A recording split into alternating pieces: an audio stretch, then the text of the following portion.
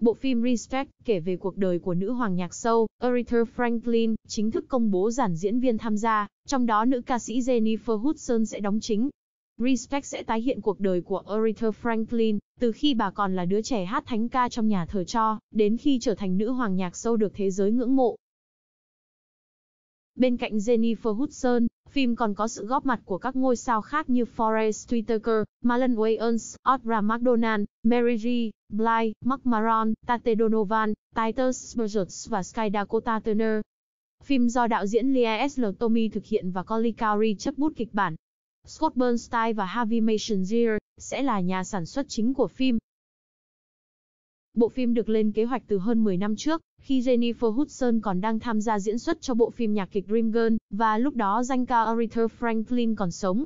Aretha Franklin sinh năm 1942 và mất năm 2018. Bà được xem là tượng đài của dòng nhạc soul với tiếng hát đầy năng lượng và nội lực.